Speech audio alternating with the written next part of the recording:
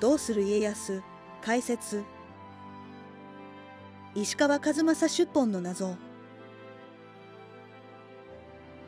石川和正は徳川家康の片腕として酒井忠次と共に活躍しましたが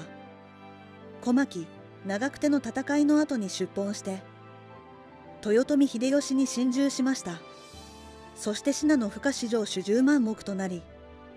信濃松本藩の初代藩主とみなすことが通説となっています。石川和正の生涯。天文2年1533石川馬の城後世の子として三河国で誕生しました。徳川家康が駿河国の大名今川義元の。人質になっていた時代から金次として仕えました。永禄3年1560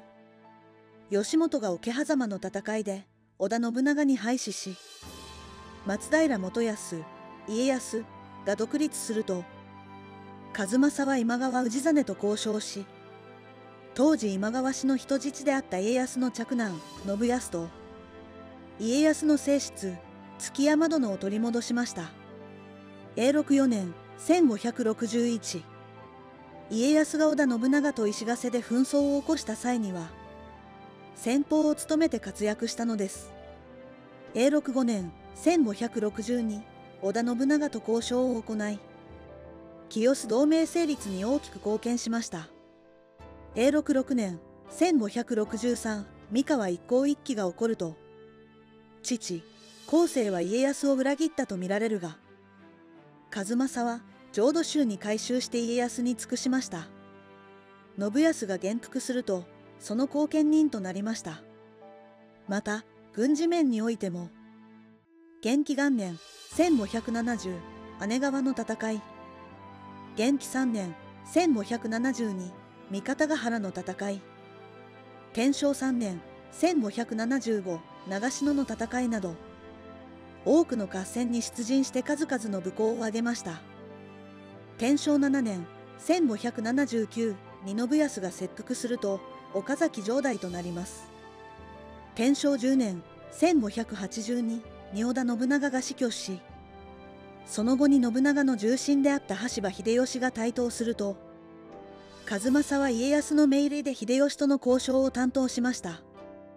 このため天正12年1584の小牧長久手の戦いにも参加。この戦いにおいて家康に秀吉との和睦を提言したとされます。豊臣会の基準。ところが天正13年1585 11月13日家康の下から秀吉の下へ出奔しました。理由は豊臣家との和睦派として家中で孤立を余儀なくされた。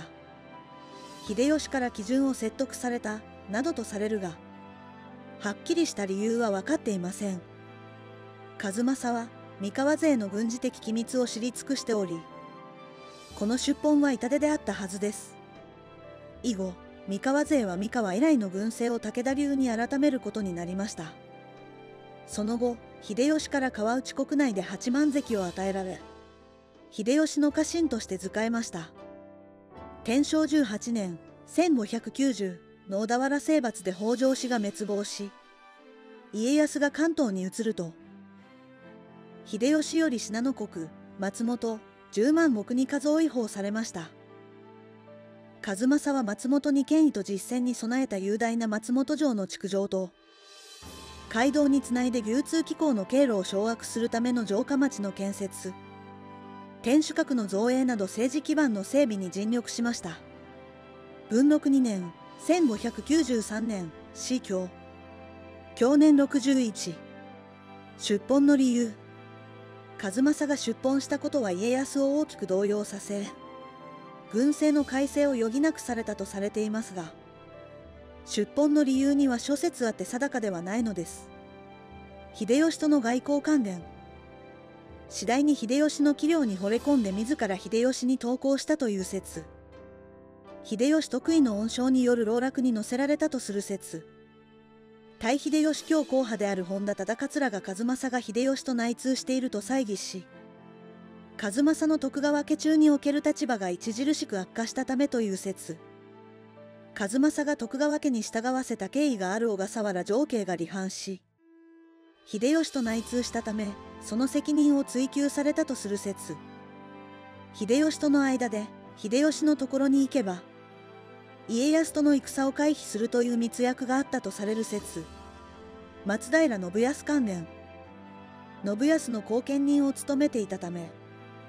天正7年1579の信康切腹事件を契機に家康と不仲になっていたという説信康切腹後徳川家の実権が数正を筆頭とする岡崎州信康派から酒井忠次浜松州家康派に移ったため数正は徳川家中で立場がなくなったという説一体本当の理由は何なのだろうか。どうする家康？